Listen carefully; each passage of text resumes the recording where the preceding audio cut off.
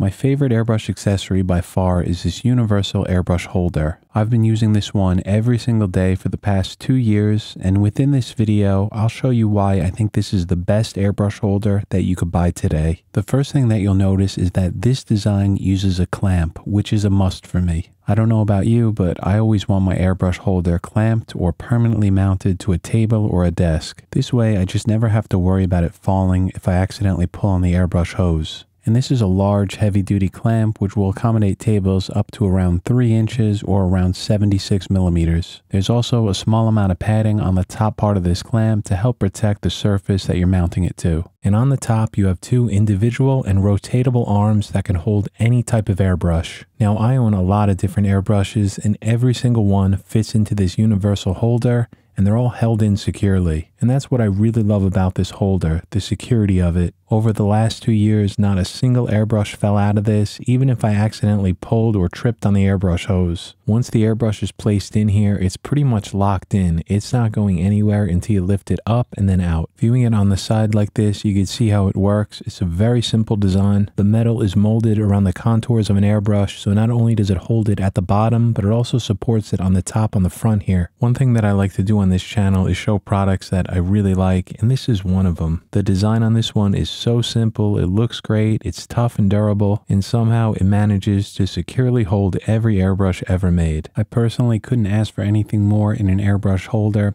It's the best one that I've ever owned. For what you're getting, I think it comes in at a really great price point. The list is 35 US dollars, but you could pick it up for less. I bought it for around 22 $23 back in September of 2021, and I like it so much that I'm going to purchase another one of these just for my videos that when I'm doing an airbrush review, I have a place to keep them. It comes in a simple cardboard box with these very good and detailed instructions. Besides the airbrush holder, you also get a clamp and a small screw in a plastic bag. These are for connecting two other optional accessories, a spray out pot and a regulator moisture trap, which are both sold separately. If you connect all three of these, they call it the Iwata workstation. The two other things didn't interest me. Regulators and spray out pots have been around for decades, so there's nothing new. So the only thing that I bought in this kit was this universal airbrush holder. When you take it out of the box, it only takes a few seconds to set up. It comes with these two arms which hold the airbrushes, and these connect to this heavy base clamp with a single bolt. Both of these arms have a thin coating of what feels like rubber to me. It's just a small amount to protect the airbrush. And then all you need to do is line these two up, insert the bolt, and then screw this down to the base. There's also a small washer that you want to put on the bolt first before you install the two arms. And that way, when you tighten it down, you could lock these arms any way you'd like. It basically goes in 360 degrees.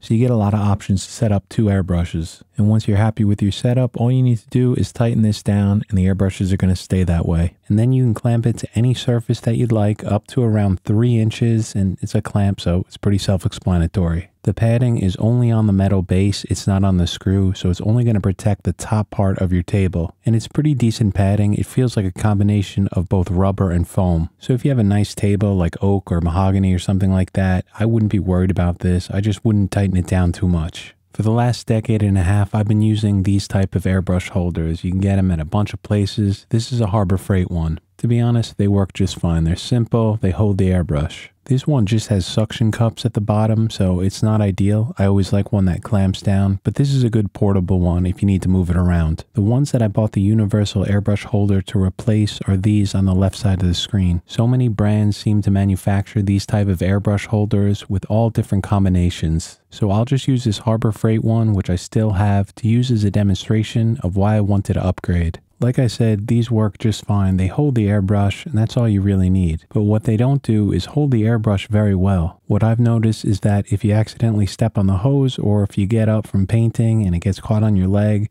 the airbrush almost always falls out of the holder. Now, of course, that doesn't happen that often, but to me, over the years, it happened enough to where I wanted something better. Another thing that I wasn't crazy about is I never felt like the airbrush was that secure if it didn't have the hose connected to it. If you're placing your airbrush in quickly and you place it in the wrong way, like I'm showing here, it's going to be top heavy and it's going to fall forward. And another thing is that I use a lot of side feed airbrushes and these just don't do a great job at holding side feeds. They still work, you can get them to fit, but it's not great. It just doesn't feel secure. And when you have an expensive airbrush like this, I just don't feel comfortable leaving it in here. So what I found myself using the majority of the time were these small black plastic holders. The front of the airbrush slides into this and it holds it in place. And in most cases, this is going to work great, but again, it just doesn't feel that secure to me. A few other reasons that I wanted to upgrade from these. The first is that they don't do a great job at holding an airbrush that has a MAC valve. The MAC valve kind of gets caught on the bottom, so you can't press the airbrush far enough in. And this just does not feel secure at all, and I wouldn't recommend it. And the durability of these black plastic pieces is not that great, because over the years, maybe four or five years,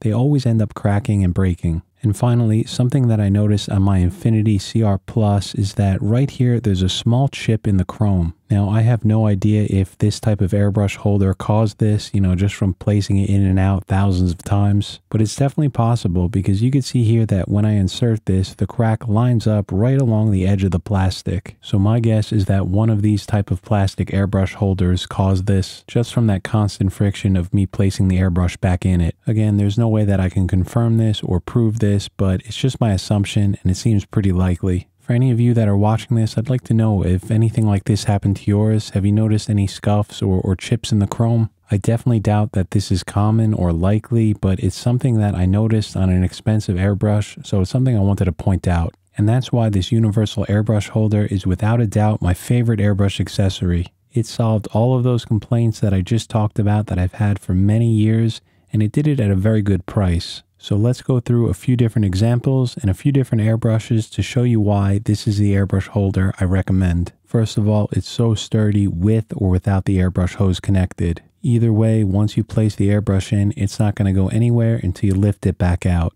And if I switch to a side feed like this custom Micron Takumi, it fits in just as well as a traditional gravity fed airbrush. And if you have one with the MAC valve, like this new Gallery airbrush, it fits in just the same. If we look at this airbrush, the Iwata TH, this is like a worst case scenario. It's a very large airbrush with a large cup. It has a MAC valve and it has the trigger at the bottom. And this one fits in just like every other airbrush. It's held in very securely and you could do this with or without the hose connected. This one right here is one of the craziest airbrushes I own. It's the Badger 360. It's a very cool design. It's both gravity fed and siphon fed and has this large cup at the bottom. This is the only airbrush that I own that doesn't fit this holder right out of the box.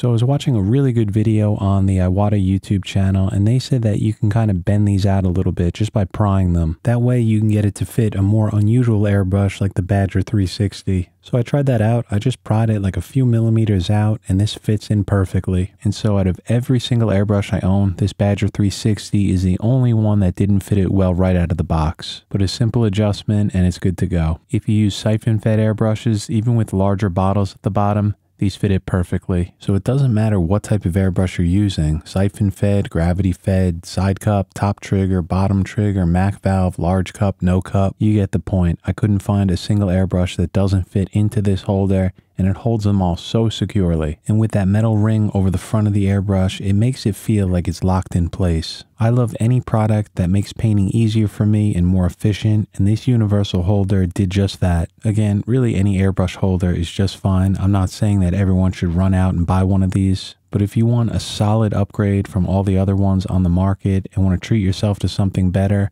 this is my number one recommendation for airbrush holders. Whoever came up with this design for Iwata, you are awesome. Thank you for this because you solved a problem that I've been having for years. And speaking of awesome, I'd like to thank these awesome channel members for their generous support. I'd like to welcome the newest members, Renee and Donnie, both at Tier 3. Thank you so much, guys, and welcome. And thank you to Manny for upgrading to a tier 2. That was very nice of you, so thank you. And finally, welcome to Tyrell and the rookie. Thank you for watching, everyone. Since this is a few days after New Year's, I'd like to wish everyone a very happy and healthy 2024. I appreciate all of you who watch these videos and subscribe to the channel, so thank you all so much, and I'll see you back here next Friday.